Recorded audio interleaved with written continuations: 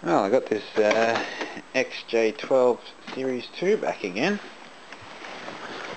Everything's alright, but I believe the ignition amplifier's crapping out. So if you remember those problems I was having earlier, when it's cold, well it's back again. So I'm going to take the gamble and put a new amplifier in it. But I'm just going to start it now and see how bad it runs. It should only run on 10 cylinders when it's cold.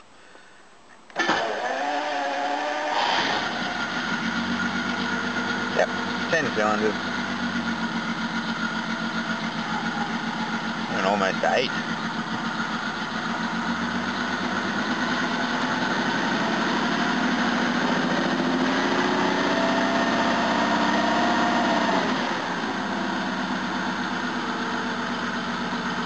I'll go and do the 12 volt jumper test and just make sure it's the same problem.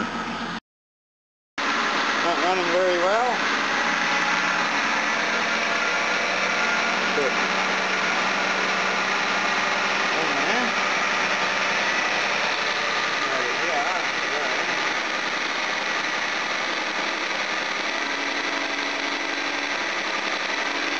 Definitely the same problem.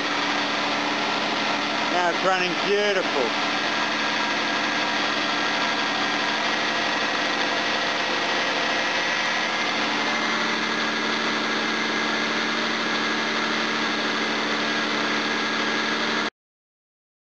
Well, here's the V12 again. Uh, there's an ignition module at the front. And here's another one, which I've wired into the engine and given it a good earth. Uh, let's see what happens. Oh, let's see what happens.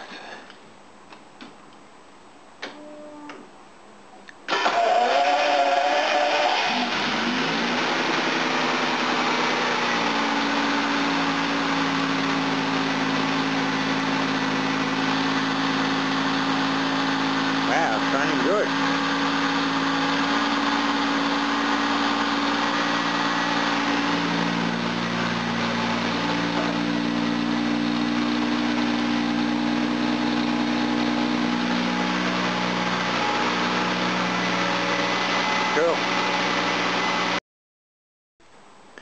I just plugged the original one back in just for the fun of it. Let's see what happens.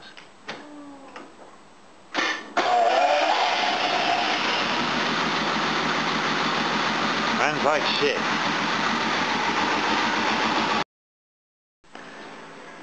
There we go, the new module's all in.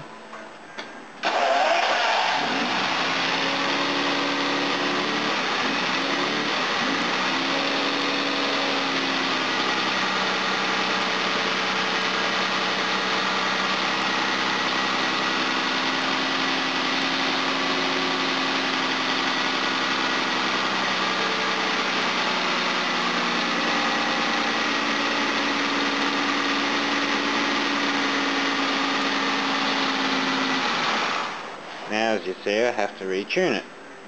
It's running pretty rich. It used to have bad spark obviously. So yeah, it's tuned to that. Now I've got to play Damn it, I want to test drive this.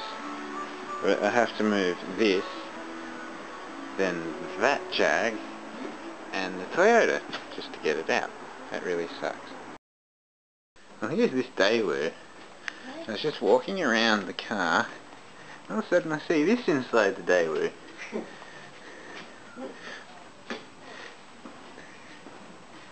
Strange little creature. Must got in through this window. Hello kitty. This Daewoo goes in about 10 minutes, I'm happy about that. Um, within that 10 minutes, I'm going to put this in. That's the flange gasket that was worn out. I'm here at the V12 again. This time I'm doing something different. As you can see it's missing a part or two. And down here. All I was intending on doing was front discs and pads and wheel bearings. It's turned out to be rebuild front calipers because they were seized do the wheel bearings and the stub axles because the bearings have been spinning on them, which I'll show you in a minute. and ball joints because here, here's a good example of a nice original ball joint. Look at that. Get up. It's pretty shag. Look at the stub axle. Look at that. Look at that wear. Bearing's been spinning on it. Uh, I'll try and point. We're looking at that area. In that area. This one's good.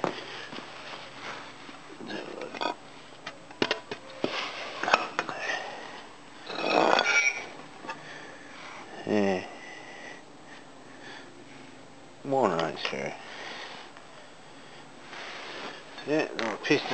60, so they need replacing.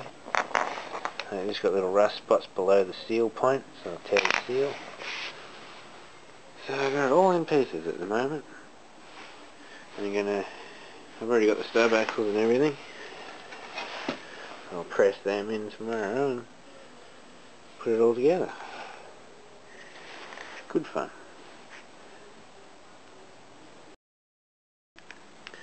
Oh, we're back at the V12 now. I seem to have a bit of a cold, so excuse my voice. Uh, well, it runs absolutely perfect from cold now. There's one problem. Now and again it's a total whore to get started. So I've tracked that down to the actual ballast resistor. Uh, it's not putting enough voltage through at crank and so there's not enough spark at crank. So I'm having trouble finding a, a genuine one. So I might just make my own system. We'll see what happens in the next few days. I've still got to put the front together and do everything. Um, the tacho worked for about five minutes with the new unit in it and then the tacho failed. It couldn't handle a decent pulse. That thing's pretty screwed anyway. And the speedo sticks at 100. Uh, a few other crappy things. But yeah, it'll be like good again now. So it was about six months or more ago I did all the hoses and everything. Uh, yeah, she'll be there one day. Oh yeah, the day we broke down again. Um, so yeah, I put a new distributor in it this time. And I think it's fixed it this time. It's obviously the winding in there. It's got a, you know, an open circuit occasionally. Or doesn't put the right reading out. So, yeah. Quite fascinating.